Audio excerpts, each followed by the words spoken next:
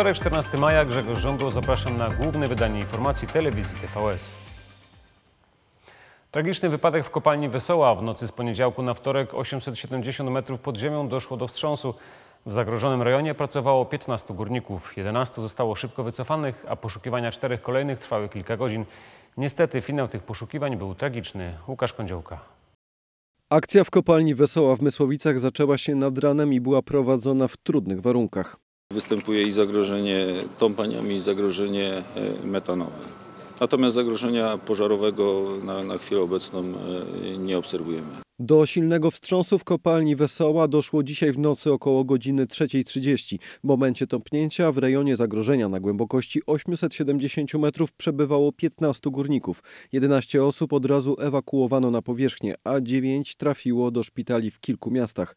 Jeden z poszkodowanych jest pod opieką lekarzy w Katowicach-Ochojcu. Pacjent został przyjęty w stanie ogólnym, dobrym, e, przytomny, w logicznym kontakcie z otarciami, potłuczeniami. Przeprowadzona diagnostyka obrazowa wykazała uraz wewnętrzny, który wymagał interwencji chirurgicznej. W godzinach porannych potwierdzono odnalezienie ciał dwóch górników. To mężczyźni w wieku 43 i 35 lat. Trzeci z zaginionych został wyciągnięty na powierzchnię i również trafił do szpitala. Stan rannych nie zagraża ich życiu, jednak akcja poszukiwawcza trwa, bo nadal jedna osoba jest zaginiona. Ratownicy e, określili przypuszczalne miejsce, położenie e, lampy, no a zarazem e, prawdopodobne miejsce e, znajdowania się e, tegoż górnika. Z ostatnich informacji z kopalni Wesoła wynikało, że ratownicy nadal podejmują próby dotarcia do ostatniego z górników. Dopiero co uczniowie klas maturalnych rozpoczęli swoje egzaminy, a już przyszła pora na kolejny egzamin. Ponad 214 tysięcy uczniów w całej Polsce przystąpiło do egzaminu ósmoklasisty. Na początek język polski i lektury. W tym roku na egzaminie pojawiły się kamienie na szaniec. W kolejnych dniach na ósmoklasistów czekają matematyka i język obcy. Karolina Komada. To jeden z pierwszych ważniejszych egzaminów w ich życiu. Uczniowie ostatnich klas szkół podstawowych przystąpili do egzaminu ósmoklasisty. Myślę, że w większości dzieci mogą się sprawdzić yy, pod względem tych umiejętności, wiadomości, które yy, nabyły do tej pory w szkole podstawowej. Yy, jest to też dla nich taki sprawdzian, no jak radzą sobie ze stresem, sytuacją właśnie taką trudniejszą. Kwestia też pracy z czasem, bo ten czas tutaj też nie jest bez znaczenia. No jest to przede wszystkim dla nich ogromne przeżycie. Ogromne przeżycie, bo to innymi od wyniku egzaminu ósmoklasisty zależy, czy uczniowie dostaną się do wybranych szkół ponadpodstawowych. W samym województwie śląskim do egzaminu przystąpi ponad 20 tysięcy uczniów, w tym ci z Ukrainy. Uczniów z Ukrainy e, uczy się, znaczy przystępuje do egzaminów szóstka e, i wszyscy ci uczniowie właśnie mają dostosowane arkusze z języka polskiego i z matematyki z poleceniami właśnie w języku e, ukraińskim.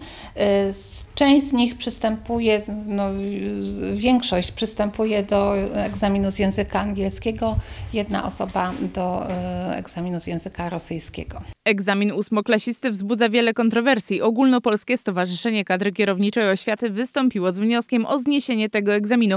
Ministerstwo Edukacji Narodowej ma jednak odmienne zdanie na ten temat. To jest zdaniem resortu e, bardzo ważny sprawdzian. Ważna rzecz, o której należy powiedzieć, my nie planujemy zmian, jeśli chodzi o przyszłoroczny egzamin, natomiast proszę pamiętać, że od września tego roku będzie obowiązywać uszczuplona podstawa programowa, a to oznacza, że w przyszłym roku ósmoklasiści do egzaminu będą mieli mniejszy zakres materiału do przyswojenia. Uczniowie nie mają możliwości przystąpienia do egzaminu poprawkowego. Drugi termin, czyli czerwcowy, jest dla uczniów, którzy nie stawili się na egzaminie.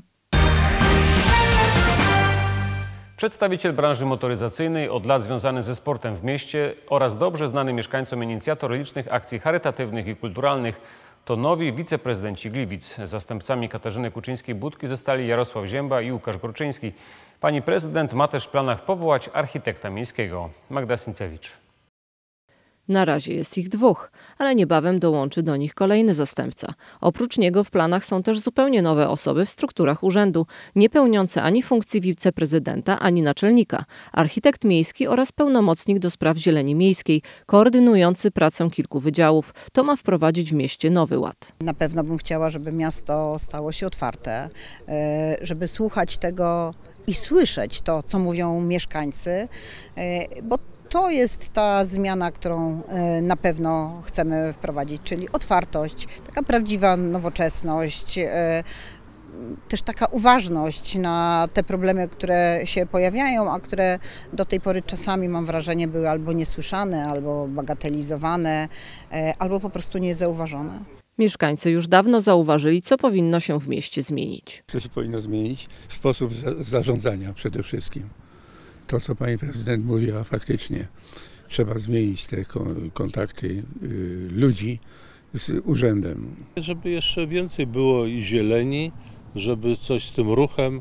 Był kiedyś taki pomysł, żeby to ulicę Zwycięstwa jakoś tak e, e, uwolnić od ruchu.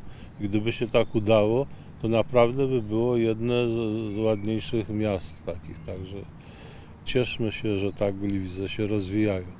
Jak twierdzą nowi wiceprezydenci, do zrobienia jest wiele, począwszy od najważniejszego, czyli szpitala, poprzez mieszkania dla młodych, kończąc na dodatkowych ławkach na skwerach. Te tematy, którymi się będę zajmował, to są tematy właśnie zbliżone do mm, jak, tak najbliższe społeczności e, lokalnej. To jest o dialogu z mieszkańcami, to jest o działaniu na rzecz osób z niepełnosprawnościami, to jest o kulturze, to jest o kulturze fizycznej, o sporcie i o środowisku. Gliwiczanie obdarzyli nas zaufaniem, żeby tym, tym majątkiem, który Gliwiczanie mają zarządzać i postaramy się to zrobić jak najlepiej. Jarosław Zięba będzie pierwszym zastępcą prezydenta. Do tej pory działał w branży motoryzacyjnej. Z kolei Łukasz Gorczyński angażował się w akcje charytatywne i kulturalne. Jeszcze w tym roku pasażerowie pociągów będą mogli korzystać z nowego przystanku Sosnowiec-Jęzor Południowy. Prace w Sosnowcu właśnie się rozpoczęły, a inwestycja ma ułatwić dostęp do pociągów mieszkańcom Jaworzna i Sosnowca. Paweł Jędrusik. To dopiero początek prac, w czasie których na linii kolejowej Katowice-Kraków zostaną wybudowane dwa perony na nasypie pomiędzy ulicą Orląt Lwowskich a drogą S1. Powstaną również wiaty, ławki, oświetlenie oraz gabloty z rozkładem jazdy, zegary, a także pochylnia i winda. Do 6 sierpnia prace będą wykonywane przy jednym torze. E, Pociągi będą kursowały e, po sąsiednim torze, co zostało uwzględnione w rozkładzie jazdy. Potem prace przeniosą się na drugi tor. E, Dzięki realizacji tego zadania, czyli budowie nowego przystanku Sosnowiec-Jęzor Południowy, zwiększy się dostęp do pociągów dla mieszkańców Sosnowca i Jaworzna. Nowy przystanek ma ułatwić m.in. dojazd do znajdującego się niedaleko centrum handlowego. Wartość inwestycji to 17 milionów złotych. Udzielanie pierwszej pomocy poszkodowanym w wypadkach drogowych, strzelanie z broni palnej czy kierowanie ruchem drogowym. To konkurencje, w których mogą sprawdzić się policjanci w 34. wojewódzkim konkursie Policjant Ruchu Drogowego. 33 najlepszych funkcjonariuszy z całego województwa przez trzy dni będzie walczyć o reprezentowanie Śląskiego w konkursie ogólnopolskim. Karolina Komada. Arkadiusz Pinocy od 2017 roku pracuje jako policjant ruchu drogowego w Mikołowie. Z własnego doświadczenia wie, jak niebezpiecznie jest na polskich drogach. Wypadki drogowe towarzyszą y, na co dzień, niestety na drogach. Y, y, Statystyki mm, pokazują, że tych zdarzeń drogowych jest dużo. Y, Policjant powinien być odpowiedzialny, spokojny, mm, mieć nerwy na wodze. I to między innymi te cechy charakteru są sprawdzane podczas wojewódzkiego konkursu Policjant Roku Ruchu Drogowego. To są e, najlepsi policjanci wyłonieni z każdej jednostki e, poprzez e, test wiedzy i test z umiejętności praktycznych. E, Tak naprawdę to jest elita spośród prawie 2000 policjantów wybrano od tych 33, e, którzy zmagają się o możliwość wystąpienia w w finale ogólnopolskim.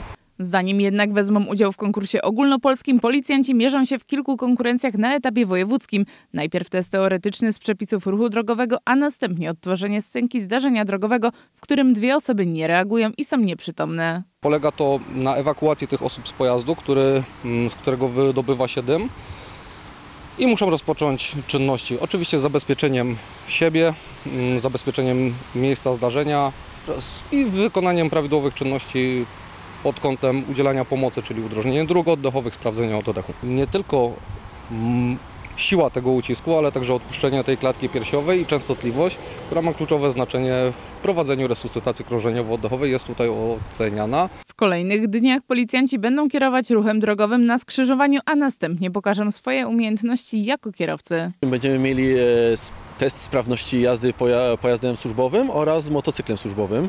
E, Są to bardziej techniczne jazdy niż szybkie. E, Sprawdzamy wtedy, jak policjant sobie radzi na drodze w trudnych warunkach. Według policyjnych statystyk to z funkcjonariuszami ruchu drogowego społeczeństwo ma największą styczność. Tylko w ostatnim roku policjanci ze Śląskiej Drogówki przeprowadzili 865 tysięcy kontroli uczestników ruchu drogowego. To wszystko, co przygotowaliśmy dla Państwa dzisiaj. Jutro informacje jak zawsze o godzinie 16, 17.45 i 23.00. Do zobaczenia.